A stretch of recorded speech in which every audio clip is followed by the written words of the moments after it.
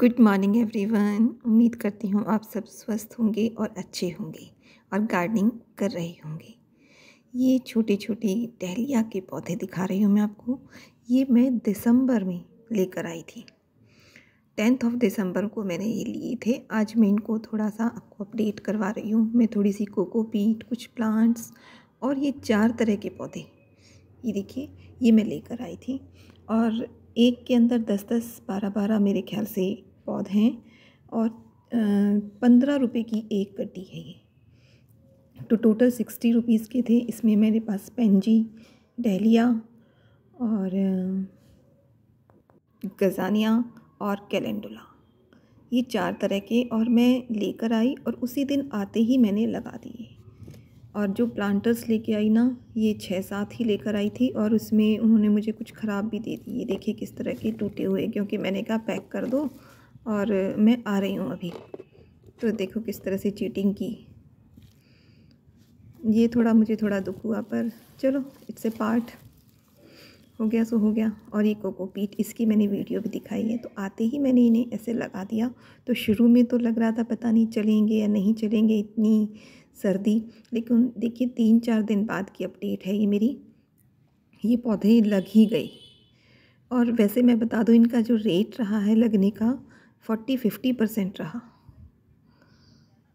आधे ख़राब हो गए और आधे जो है चल रहे हैं अच्छे। अभी तो थोड़े डल लग रहे हैं। जहाँ मुझे जगह दी, क्योंकि इतने सारे हो गए ये कुल मिलाकर तो साठ के करीब पौध थी।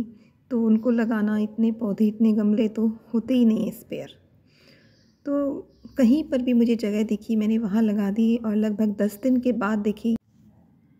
इनमें रूट्स भी आ गई और मैंने इनको ट्रांसप्लांट कर दिया। छोटे छोटे पॉट्स में जितने भी मुझे खाली मिलते रहे, मैं उन्हें तैयार करती रही और उनको इधर उधर लगाती रही। ये देखिए, इन तीन में मैंने ये दस दिन के बाद इसमें ट्रांसप्लांट किए थे।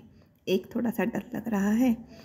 जैसे जैसे मेरे पास पॉट बनते रहे वैसे वैसे मैं ट्रांसप्लांट करती रही। बाकी बचे मेरे इन्हीं पॉट्स में जो मैंने शुरू में लगाए थे, वहीं चलते रहे। कुछ तो ख़राब हो गए। गजानिया के अच्छे चल रहे थे, बाद में ख़राब हो गए। कुल मिलाकर सेटिस्फेक्शन है मुझे। काफ़ी अच्छे रेट से लग गए ये पेंची के पौधे। जब मैंने लगाए थे, उसके आठ दस दिन के बाद देखिए कितनी अच्छी ग्रोथ हुई इनकी। और ये डहलिया की आज की ग्रोथ है मेरी। जो आपके मैंने दिखाया था थोड़े दिन पहले ही, ट्रांसप्लांट किए थे इन छोटे छोटे कंटेनर्स में। तो अच्छे चल रहे हैं, बाकी इनके फ्लावर्स आएँगे तो मैं आपको दिखाती रहूँगी अपडेट करती रहूँगी। तो अच्छा रिज़ल्ट लग रहा है, देखिए, काफ़ी अच्छी। कलियाँ नहीं आई है, मैं वेट कर रही हूँ।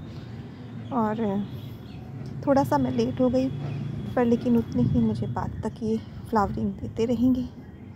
तो आप भी इस तरह से नेक्स्ट टाइम मैं और थोड़ा जल्दी लाऊँगी।